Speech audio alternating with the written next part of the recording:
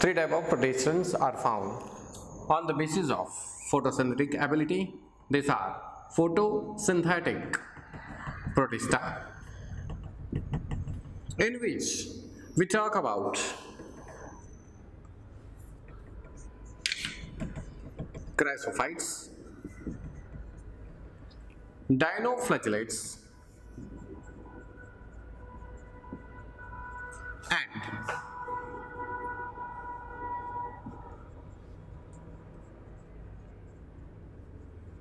some protista are consumers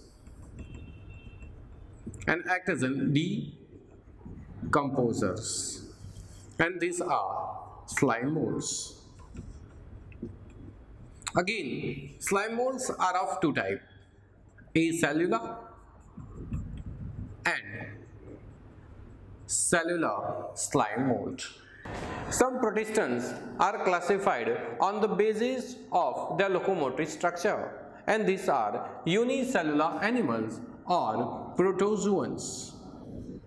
On the basis of locomotor structure, protozoans are classified into four different categories in which amoeboid protozoans or sarcodina, zooflagellates, ciliated protozoans and sporozoans are included. Now in protista, we first talk about chrysophytes. These are photosynthetic protistans. In chrysophytes, we talk about diatoms and desmids. Students, remember that desmids are also called as an golden algae now, if we look at the characteristic of these chrysophytes, so remember that these all are unicellular.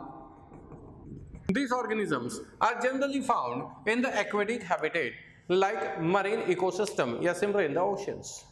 These organisms are either on the surface of the water as uh, phytoplanktons because some do have the cilia-like structure on the surface and so with the help of the cilia they can easily float on the surface of the water and that's why they are called as an phytoplanktons.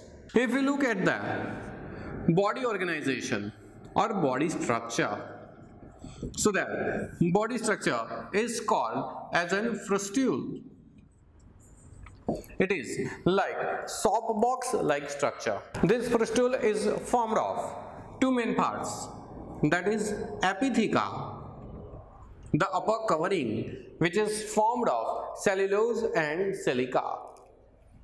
And lower part is called as an hypotheca so this way frustule has a two covering or sheath like structure called epitheca and hypotheca the organism is present inside the epitheca and the hypotheca the new organism form which need to produce or develop again the frustule surrounding its body.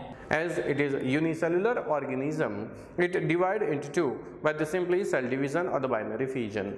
But the question is what about the frustule or the epitheca hypotheca which is removed by the parental organism?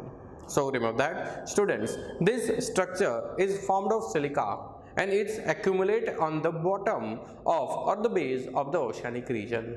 And gradually after a long time if we look at the bottom of the ocean it accumulate and get transformed into the big rock like structure in appearance.